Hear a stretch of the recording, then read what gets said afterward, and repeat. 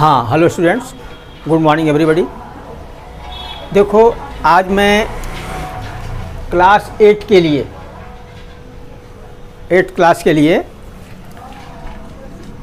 SST का एक नया चैप्टर लेके आया हूँ, जो रेवेन्यू से रिलेटेड है. Rural life and society chapter का नाम है रूरल लाइफ एंड सोसाइटी। इस चैप्टर में मैं डील करूँगा मैं रिवेन्यू के बारे में। देखो, मैंने पिछले वीडियो में आपको बताया था expansion of British rule in India Calcutta presidency Madras presidency Bombay presidency. लगभग इन तीन प्रेसिडेंसीज में, या हैं तीन प्रांतों में, अंग्रेज़ों का एक तरह से शासन पूरा फैल गया था।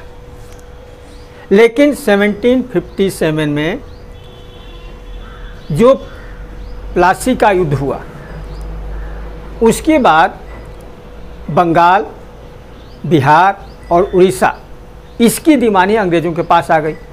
अब दीवानी का मतलब क्या होता है? रिवेन्यू इकट्ठा करने का अधिकार। उस समय मेन सोर्स पैसे का मेन सोर्स लैंड ही थी, ज़मीन ही थी। लैंड रिवेन्यू मिलता था, ज़मीन से मिलता था। वो सारा अधिकार इन राज्यों का इनको मिल गया। तो इन्होंने क्या किया?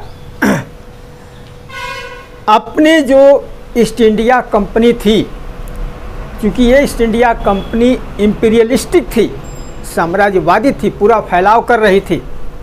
तो अपने बिज़नेस को स्थायी प्रदान करने के लिए उनको पैसे की आवश्यकता होती थी। वो पैसा उनसे, उनको रेवेन्यू से ही मिलता था। उन्होंने सोचा कि क्यों नहीं रेवेन्यू का, को एक सिस्टमेटिक बनाया जाए सिस्टमेटाइज किया जाए, ताकि हमेशा उनको प्रॉफिट होता रहे। उसके बाद उन्होंने जब first governor general Warren Hastings India में आया तो वार्न हेस्टिंग्स ने एक नया सिस्टम बनाया। उसके पहले क्या होता था? जो रेवेन्यू का कलेक्शन होता था, वो रजा खान करते थे। अंग्रेज़ों के बिहार पर ये अपॉइंट किए गए थे, करते थे। लेकिन उसमें बहुत ज़्यादा करप्शन और मिसमैनेजमेंट था। तो इंग्लिश ईस्ट इंडिया कंपनी ने जब उसमें वार्न हेस्टिस गवर्नर जनरल बन के आया तो उसने रेवेन्यू के कलेक्शन को आक्शन कर दिया। आक्शन बोलते हैं ठेकेदारी प्रथा, जो सबसे अधिक बोली लगाएगा कि हम इतना रिवेन्यू देंगे, जो सबसे अधिक रिवेन्यू पे करेगा, उसको रेवेन्यू कलेक्शन का अधिकार दिया जाएगा। अब उसकी भी बड़ी सारी डेमेरिट्स हैं। लोग एक बार बोली लगा देते थे, लेकिन जब पैसा इकट्ठा करते थे, उतना पैसा हो भी नहीं पाता था, क्योंकि बहुत ज़्यादा उनको देना पड़ता था रेवेन्यू कलेक्ट करके अंग्रेज़ों के लिए। तो कई सारे तो छोड़ के ही चले गए। और ये इसकी डिमेरिट्स यही थी कि ये भी मिसमैनेजमेंट ही हो गया था। अब देखो, इसके बाद लॉर्ड वान हेस्टिंग्स के बाद 1793 में लॉर्ड कार्नवालिस यहाँ का गवर्नर जनरल बना। तो लॉर्ड कार्नवालिस ने बिहार में, बंगाल में और मद्रास प्रेसिडेंसी के भी कुछ इलाके में उसने एक जमींदारी प्रथा शुरू की। उसने उन इलाकों से ज़िले होते थे, उन इलाकों में उसने बड़े बड़े जमींदारों को ही पूरी की पूरी ज़मीन दे दी। उसने एक प्रशासनिक व्यवस्था भी बनाई थी, डिस्ट्रिक्ट कलेक्टर का भी पोस्ट बनाया था, वो हेड होता था। लेकिन गाँव की खेती से रिवेन्यू इकट्ठा करना और ईस्ट इंडिया कंपनी को देना, इसके लिए उसने एक सिस्टम बनाया, जिसको कहते हैं परमानेंट सेटलमेंट उसने ज़मीन को बड़े बड़े ज़मींदारों को दे दिया। अब जो लोग छोटे छोटे ज़मींदार थे, ज़मीन पर काम करने वाले थे, वो सब के सब बड़े बड़े ज़मींदारों के टीनेंट हो गए, किराएदार हो गए। अब उनके खेतों में ये लोग काम करने लगे और रेवेन्यू सारा वो जमींदार ही कलेक्ट करके देता था। इसकी भी बहुत सारी मेरिट डिमेरिट थी। पीजेंट तो बिल्कुल ही ऑपरेस्ड हो गए, बिल्कुल ही दबा दिए गए। रिवेन्यू का रेट इतना ज़्यादा होता था कि ज़मींदारों को भी सर्वाइव करना बड़ा मुश्किल हो जाता था। फिर ज़मींदार ज़्यादा इकट्ठा करना चाहते थे, कंपनी को देना है तो कुछ अपने पास भी रहना चाहिए।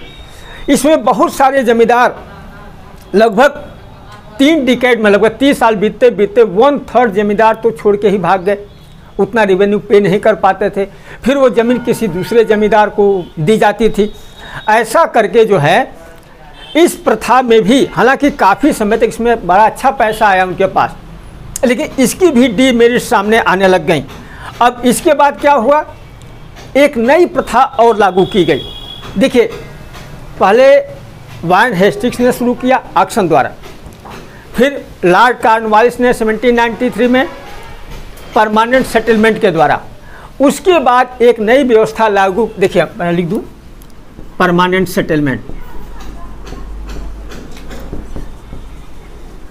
परमानेंट सेटलमेंट ये 1793 में लॉर्ड कार्नवालिस। इसने शुरू किया था इस प्रथा को सेटलमेंट को। और इसमें क्या था? जमींदारी प्रथा थी। जमींदारी प्रथा थी। अब इसके बाद एक और नई, नया सिस्टम लाया गया। उस नए सिस्टम में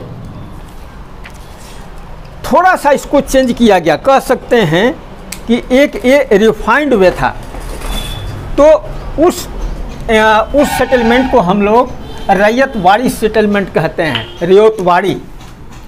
R O T ryotwari settlement देखिए ये सेटलमेंट क्या थे?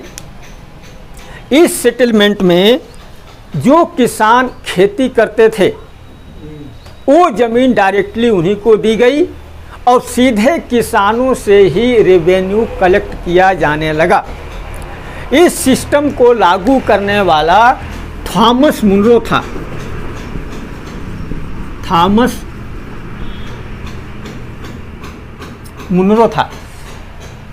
थॉमस मुनरो ने इस सिस्टम को लागू किया डेवलप किया इस सिस्टम को। और ये सिस्टम परमानेंट सेटलमेंट से थोड़ा ज़्यादा बेटर माना जाता था। ठीक है? जहाँ पर सीधे कलेक्शन उन कल्टीवेटर से होता था। जमींदारों का जो बीच में रोल था, वो लगभग ख़त्म कर दिया गया। इसमें रेगुलर इंटरवल पर रिवेन्यू को बढ़ाने की भी व्यवस्था थी। कि समय समय पर रिवेन्यू को इंक्रीज किया जा सकता है। इस तरह की व्यवस्था थी। लेकिन इस व्यवस्था में क्या हुआ? सीधे पीजेंट्स के ऊपर ओवरबर्डन हो गया। पीजेंट्स के ऊपर सीधे ओवरबर्डन हो गया। क्योंकि रेवेन्यू बहुत ज़्यादा होता था। अब इसके बाद 1822 में लगभग